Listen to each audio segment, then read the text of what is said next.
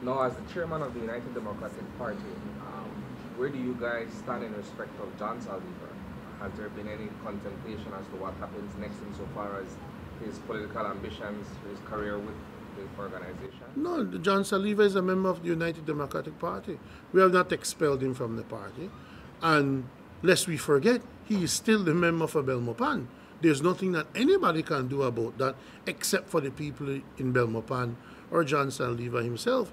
He has clearly um, stated his continuing interest in Belmopan, and we all don't have a problem with that. So he resigned from cabinet.